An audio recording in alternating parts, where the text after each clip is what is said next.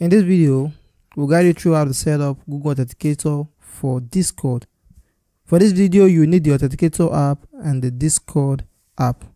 So the first thing you want to do is head over to Discord, then click on your profile icon down right here, then click on the settings icon.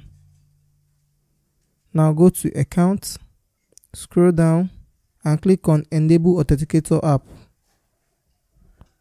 So you want to enter your password, then click on OK.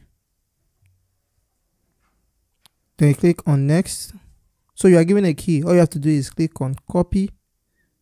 Now let's go to the authenticator app. Click on authenticator, then click on the plus icon right here, and then click on enter a setup key. So right here where it says your key, what you want to do is paste the key you copied from Discord. The another account name, I'll name this Discord. Then you click on add. So right here, you just tap on this code you are given just once to copy the code. Now head over to Discord, click on next, and then allow paste to paste the code you copied earlier. So now two-factor is activated. Click on done. So that's how to activate two-factor authentication.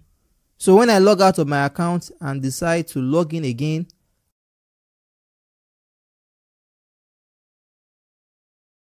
I will have to enter a verification key from my Discord account. So that's it for this video. If you find the video helpful, click the like button and also subscribe to the channel. Thanks for watching.